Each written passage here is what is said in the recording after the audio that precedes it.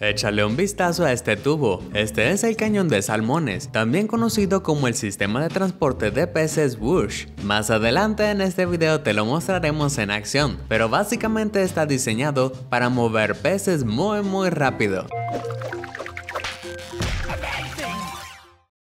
Hay muchas razones por las que podrías necesitar mover los peces de un tramo de agua a otro. Por ejemplo, a veces las represas hidroeléctricas están planificadas en medio de la ruta migratoria de peces como el salmón. Los salmones nacen en agua dulce, pero generalmente migran al océano. Cuando están listos para engendrar descendencia, regresan al agua dulce donde nacieron. Imagina que pones el piloto automático hacia tu casa y de repente te encuentras un gran obstáculo en tu camino, la construcción de presas y la destrucción del hábitat se han relacionado con una disminución de las poblaciones de salmón. Las temperaturas de los ríos y lagos también pueden contribuir a reducir el número de peces. Mientras que las temperaturas del océano son frías, los ríos y lagos a menudo aumentan la temperatura durante las horas de calor del verano. Desafortunadamente, la temporada de verano es cuando el salmón del Pacífico llega a su hogar para desovar. Pasan de estar la mayor parte de su vida adulta en el agua fresca del océano a enfrentar altas temperaturas en los ríos por los que viajan. Este contraste de temperatura puede ser letal si dichas temperaturas alcanzan los 70 grados Fahrenheit o 21 grados centígrados. Las temperaturas de frío excesivo o repentino también pueden afectar a las poblaciones de peces, hasta aumentar su mortalidad. Básicamente, los peces no están interesados en un cambio significativo de temperatura. Los ríos y lagos pueden volverse más fríos de lo normal si una gran represa cercana libera agua fría en ellos. Esto puede resultar en un menor crecimiento y peso de los peces y en última instancia causar su muerte. Los niveles de agua también pueden causar problemas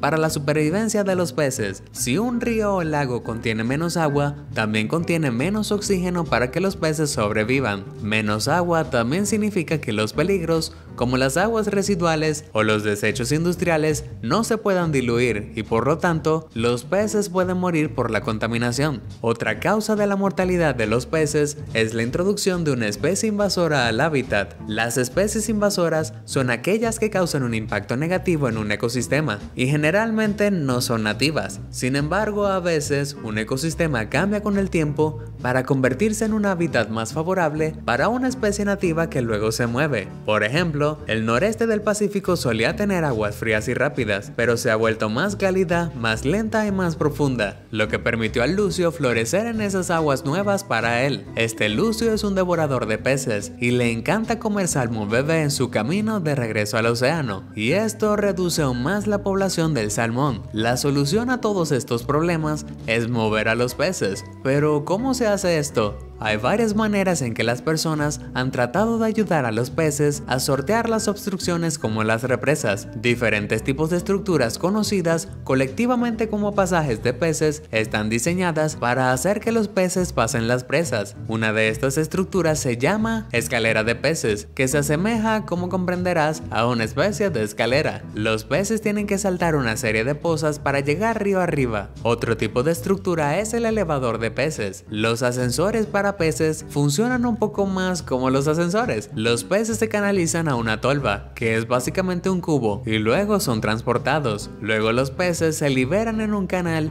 y pueden continuar nadando río arriba. Sin embargo, estos métodos para mover peces en realidad no funcionan muy bien. Un estudio publicado en 2013 sobre los efectos de cinco pasajes de peces recién instalados cerca de una presa en los Estados Unidos encontró que solo una pequeña fracción de las especies pudieron completar su migración. Estos métodos parecen ser de uso limitado para preservar y extender la población de peces en lugares donde no hay estructuras que ayuden a los peces a superar los obstáculos en su ruta. Algunos agricultores han empleado el método más básico pero laborioso. Recogen los peces en cubos y luego los transportan río arriba para liberarlos. Sin embargo, los salmones vivos son criaturas muy escurridizas de capturar y son mezquinos para transportar, y esta experiencia puede ser muy estresante para los peces. Tal método también puede ser peligroso para el trabajador si se le pide que levante cubos pesados o cajas llenas de peces, o que se meta en el río para intentar capturar a las criaturas atrapadas. En resumen, donde quiera que haya represas hidroeléctricas, hay un montón de peces muertos o estresados por el proceso de supervivencia que les impide reproducirse. Entonces, ¿cómo podemos mejorar esto y mejorar las poblaciones de peces como el salmón?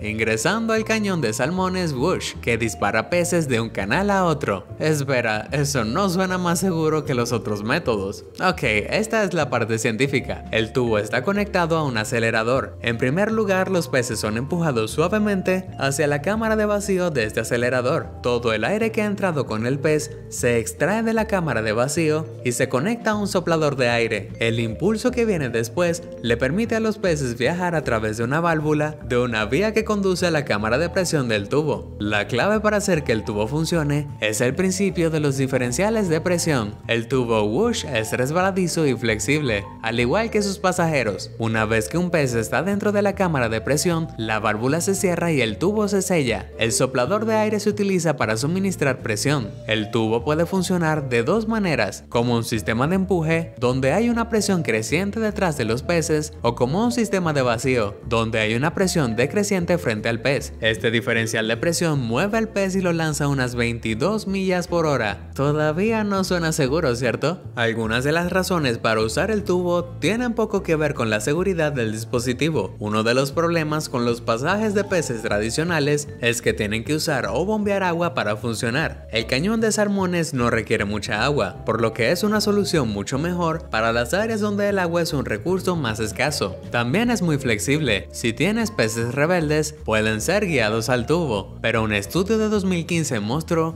que cientos de salmones rosados ingresaron voluntariamente a los tubos, lo que reduce el trabajo del piscicultor. Los pasajes de peces tradicionales también tardan mucho tiempo en construirse, mientras que el cañón se puede configurar en cuestión de días. Pero ¿los peces sufren de alguna manera? Se han realizado múltiples estudios para ver si el tubo causa daños a los peces, su capacidad reproductiva o motivaciones migratorias. En comparación con otros métodos de transporte, un estudio de estrés fisiológico realizado en 2000 2014 sobre el salmón chinook comparó el uso del tubo en comparación con el transporte manual y encontraron que había muy pocas diferencias en las respuestas de estrés en los peces, aunque el cañón de salmones era el método más eficiente, ya que es menos demandante en mano de obra. Otro estudio en 2014 encontró que el uso del cañón redujo la mortalidad del salmón chinook en comparación con el traslado manual. Además, no hubo señales de que el transporte a través del cañón tuviera un efecto negativo en la reproducción de los peces. Esto se midió a través de las concentraciones de la vitelogenina plasmática de peces hembra, que era similar entre peces transportados a través del cañón y el grupo control transportado manualmente. En un estudio de 2015 sobre los efectos potenciales de la fuerza G en los peces, dada la velocidad a la que viajan a través del tubo, no encontraron efectos dañinos. Básicamente el cañón de salmón es eficiente, no es inherentemente estresante para los peces y parece conducir a una menor mortalidad de los mismos. No está mal. Quizás uno de los estudios más significativos sobre los efectos del cañón es un estudio de migración de 2016. Como investigaciones anteriores, habían encontrado que los pasajes de peces tradicionales en realidad obstaculizaban la migración exitosa. ¿Cómo se comparaban estos con el cañón de salmones?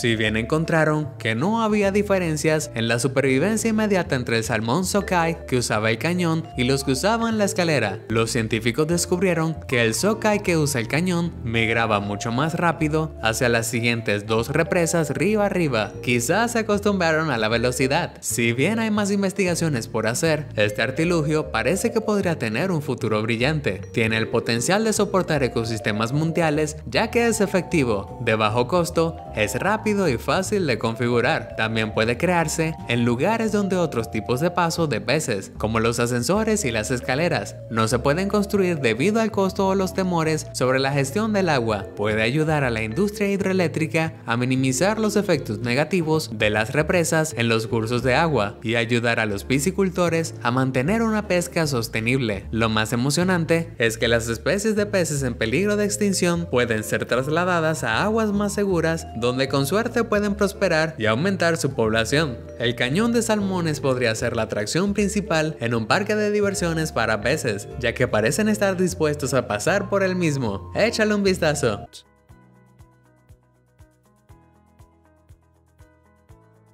Esto fue todo sobre el cañón de salmones. ¿Cuál es el dispositivo de transporte animal más curioso que hayas visto? Comparte con nosotros tus respuestas. Si te sorprendió toda esta información, házmelo saber en los comentarios del video. Y nunca dejes de sorprenderte. Muchas gracias por ver y suscríbete a Sorprendente.